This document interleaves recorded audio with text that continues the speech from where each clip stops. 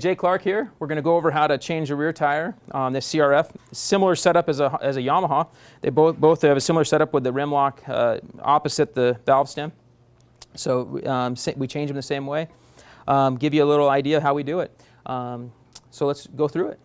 Okay, so we let the valve, we let the air out of the valve stem and we pull the little Honda rubber piece off, which is cool. And we're going to back our valve stem, I mean our, our, I'm sorry, our rim lock.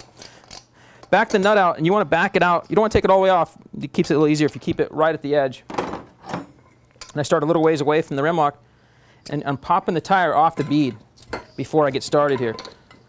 When I was a kid, I used to do this on the ground. It's a whole lot easier this way on a stand, a nice stand. Okay, so I got it all the way off this side. Flip the wheel over, do it on the disc side, popping it off.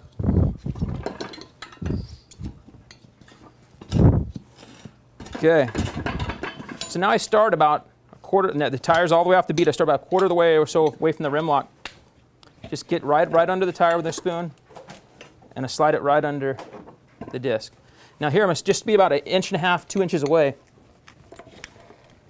Take my second one. Now you can get away with just two spoons if you want, but if you have a third one, it's a whole lot easier just, just to grab another one. Now you're down just to two is all you'll need.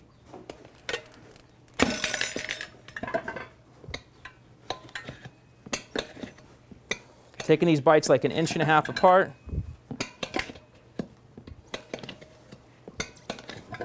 So tires off all the way one side.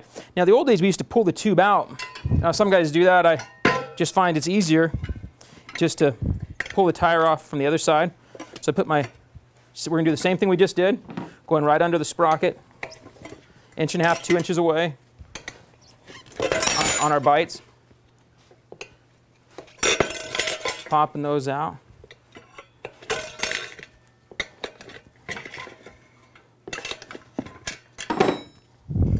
So about one more. Okay, so now our tire is all the way off. Now it's easy to go right next to the rim lock. Just pull the tire down. Comes all the way off. So at this point, I'll just put the wheel right back on here. Just double check that the band's okay. You know, if you have duct tape on your rim, you want to check all that. Make sure no spokes are sticking through, anything crazy here.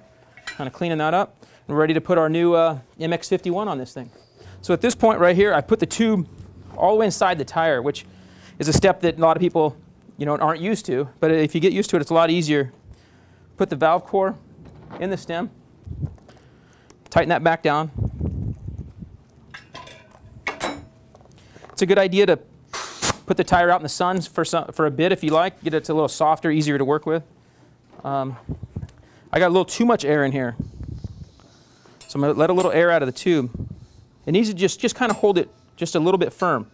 You don't want to have too much air in there. So at this point, we're going to lube up the tire with some tire paste. Um, any automotive type tire paste is better than most, you know, soap and water anything else you could use.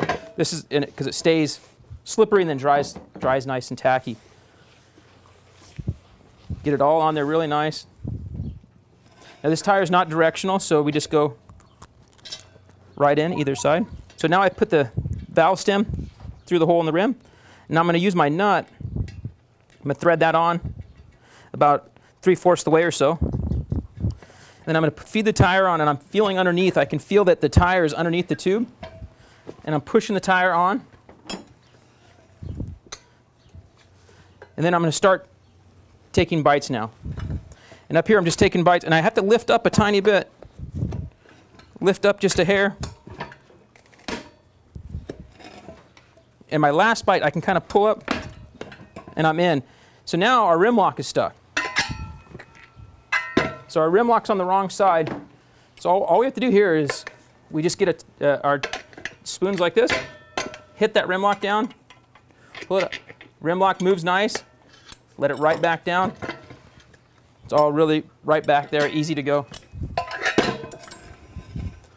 So now on our last side, we put our spoons about five inches apart, hold them like this, put one of these bead buddies in there, throw it out like that. Now I'm taking bites about an inch and a half apart, and I'm pushing down on the tire to keep it off the bead. On a rear, you just want to take your time and take slow bites. And then even as you get going, come over here and knock the tire off the bead.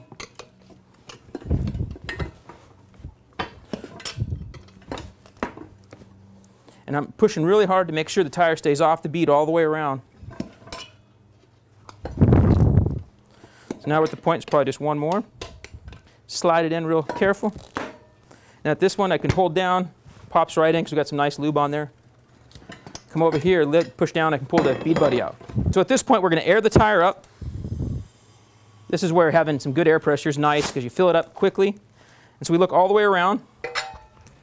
It's always a good idea to check all the way around to make sure you're all the way on the bead that's seated. It's nice and warm today, so the tire's popping right on. If it's cool out, it's a lot harder. So we got all of our air in here. So right now we're going to go to our rim lock, tighten up our rim lock.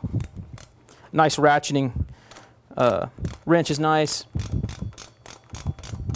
I wouldn't use a ratchet or anything really long because you'll put too much leverage on it and can break the rim lock too easily and risk uh, bowing out your rim as well. So you want to just get it nice and snug, about right there. Then you come over to the valve stem, you pull the nut off. We put that rubber piece back on that Honda gave us here. And we're going to check the pressure. Good idea. Most outdoor use, 12 to 14 pounds pressure. Um, I'm going to set this one right at 14. Probably not going to ride for a couple days and put our cap back on. So now that we're all done, this wheel's ready to hit the track. So hopefully we'll see you out there soon.